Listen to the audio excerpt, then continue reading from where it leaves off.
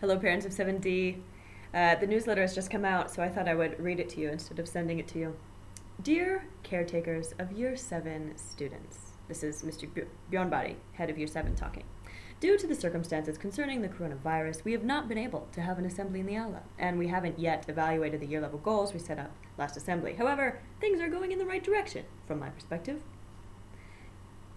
In mentor time, we've been talking about things concerning our groups, trying to keep up with individual talks as much as possible.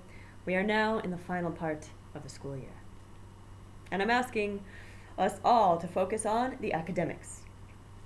We encourage your children to make an extra push to reach their goals.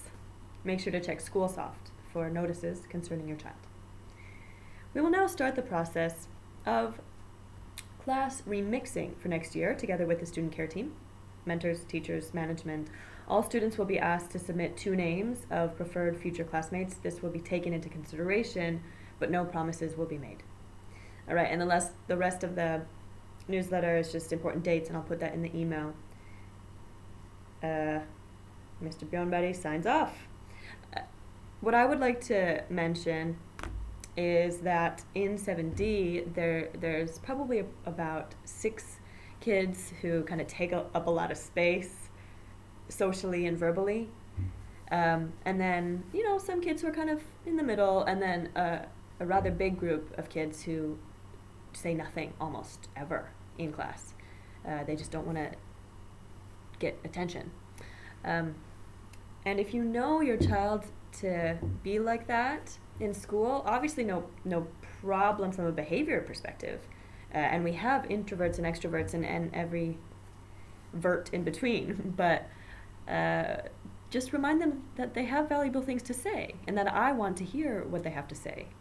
Obviously, they should raise their hands, but uh, we want their contribution. I want their their confidence to grow always.